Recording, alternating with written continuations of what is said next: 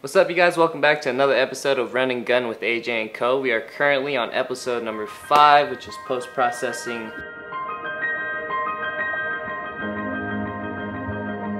So in this episode, you're gonna get to see some behind the scenes action of me working on a campaign. So everything from shooting the campaign and then editing the pictures right after using Adobe Lightroom. And then he's gonna be doing the video part on Final Cut Pro and then we're gonna show you some tips and tricks along the way. So the first thing you want to do when you open up Lightroom is import your photos and you just want to go to file and import and all your photos should show up in your library right here.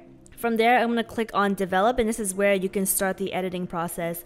So for this campaign, I got to work with Herbal Essences to promote their new Bio Renew line. And since it is a shampoo and conditioner, I decided to shoot in the bathtub and I bought flowers as you can see to match the bottle of the shampoo and conditioner. I also have a plant just to give it a more tropical feel matching the bottle. Instead of using this picture, I decided to reshoot the entire campaign just for a more cleaner look. I did this in my kitchen with all natural lighting and I had the shampoo and conditioner bottle right in front of me as you guys can see here. This is actually the final result. I'm going to go ahead and show you the before. So this is after and this is before. I'm gonna go ahead and reset this photo and show you guys how I started this from scratch. So I'm just gonna go ahead and click reset right here. A good thing to keep in mind when selecting photos, because I know it can get a little bit overwhelming, is if you like a specific photo, you just want to click the hotkey P on your keyboard and this will go ahead and pick the photos that you selected. And then from here, you just want to click on flagged. And this is where you'll find all of your flagged photos, so it's easier to keep in mind of which one you want to edit. So starting with this photo, as you can see on the left side right here, I've already created a bunch of presets in different names and I just kind of go back and forth between the preset depending on the picture, but in this case, I'm just gonna go ahead and start from scratch to show you guys what I like to do. On the right side, you have your basic adjustments. You have your temperature, your tint, exposure, contrast, etc. And I like to start off going from the top all the way to the bottom. So starting off with temperature, I'm just gonna toggle this more to the right side because I do like my pictures a little bit warmer.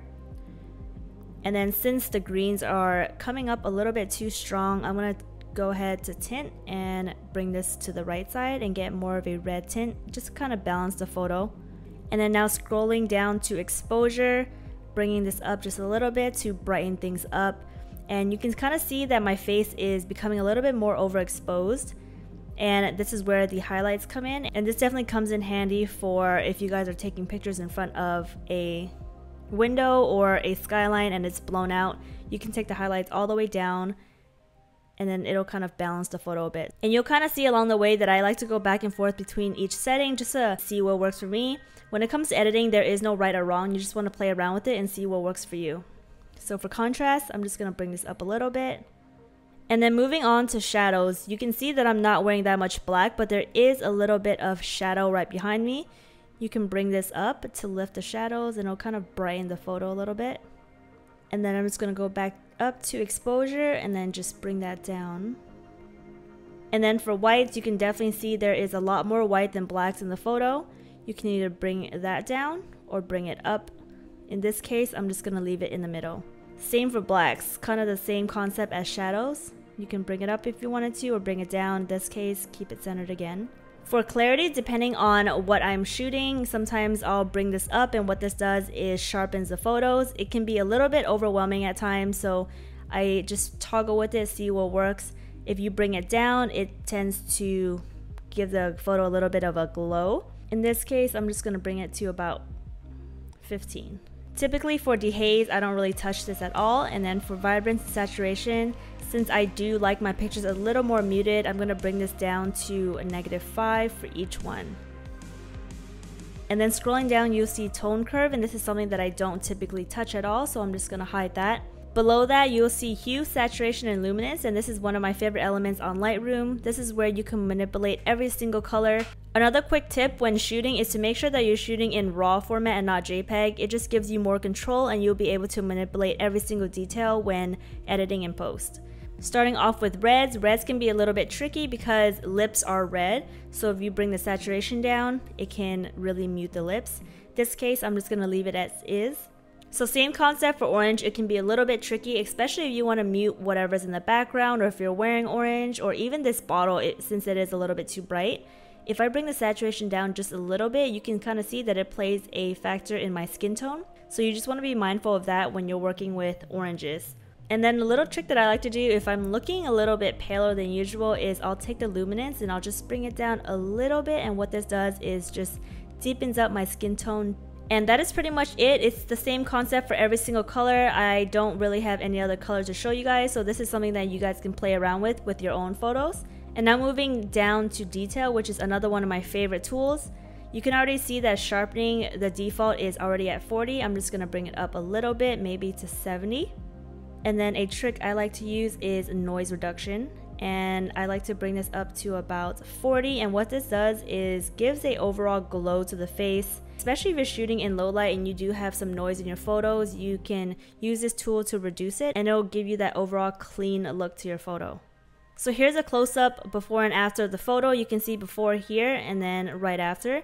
You can just see that the noise reduction adds a little bit more luminosity to the skin so moving on to lens corrections, and this is something I typically do for all of my photos. I'll just click on enable profile corrections and usually it detects the lens that you're using. In this case, I, I did use a Sigma 50 and you can see that it helps bring back the distortion of the photo. And since it is a little bit brighter than usual, I'm just gonna bring the vignetting down to 50 to kind of bring back the balance of the photo.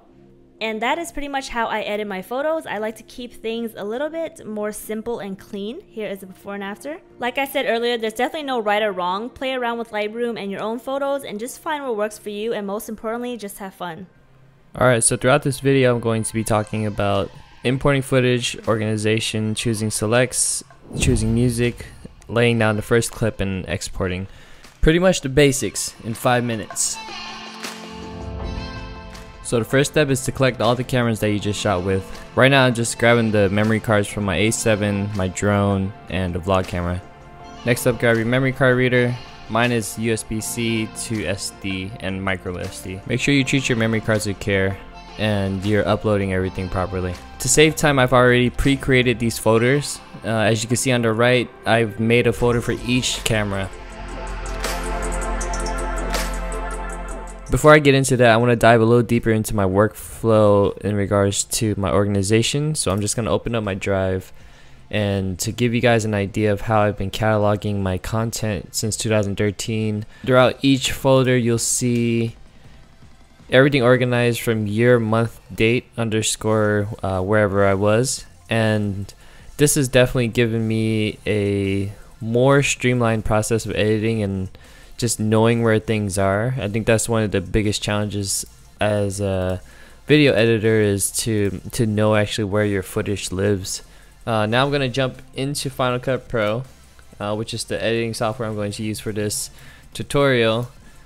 And I've already went ahead and created a library and that's just by simply going up here to File, New Library and uh, naming it Iceland. Next thing I'm going to do is I'm going to create four different events. You can do this by either hitting option N or you can just go over to file and then create a new event. And I'm just going to name these by day. So just day one, day two. You get a little more detailed. This is just what I'm using as an example. Day four.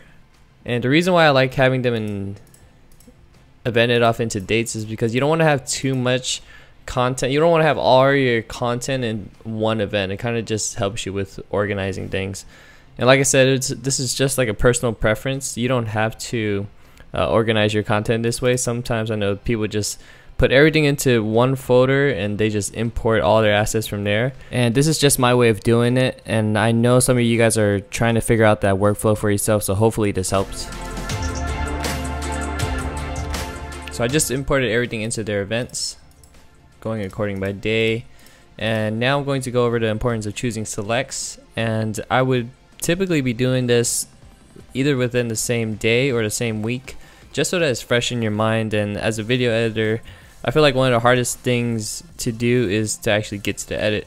So what I'm going to do now is go into my day one selects and choose pretty much one to five second b-roll clips to establish the area And this is just to give the viewer a sense of what this place looks like, smells like, and probably sounds like. Uh, I don't know too much about smells like, but you get what I'm trying to say. So one to you know one to three second clips. That should be good.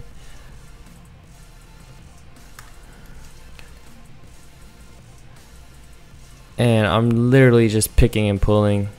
And eventually your selects will look something like this. And this alone gives me an idea of what the place looks like.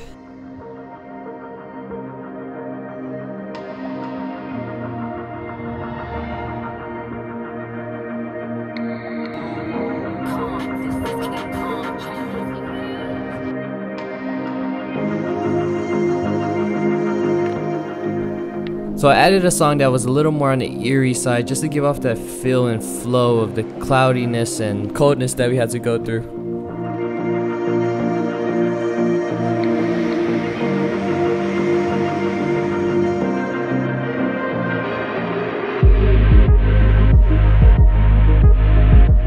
It's even good to use external audio sources from time to time. It's up to you, mix it up, mess around with it. Dear guests, welcome to Keflavik, Iceland. The local time is uh, 10 o'clock and the outside temperature is 9 degrees Celsius.